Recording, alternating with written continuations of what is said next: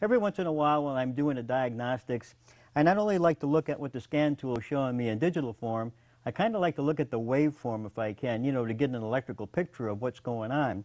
And this particular tool from Injectronics, the CJ4 scan tool, uh, can do that. And it's got all the normal functions of a scan tool. You know, it's got a generic uh, scan tool position there. It's even got a built-in lab scope for looking at things independently from the vehicle. And of course, you can store things on the computer, many of the features that the other uh, machines have. Let me show you what I like the best about that feature. The first thing I'll do is put the tool into, in this case, generic OBD2 mode.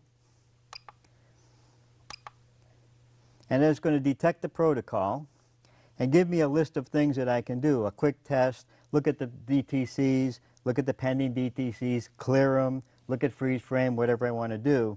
But for right now, I'm interested in looking at live data. So I'll move into that area, and then I'll go down and select the live data.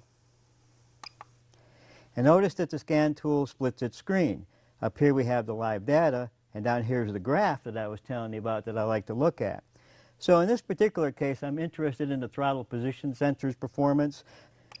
So I'm going to work my way down the list until I get to the parameter identifier for the throttle position sensor. And we can see what the percentage of the throttle position is here. We can also see it down here on the graph. So when I change the position of the throttle, not only can we see the percentage change, we can actually watch the performance on the graph at the same time. And so here I'm letting my foot off of the pedal. We can see it drop right on down back to 16.9%.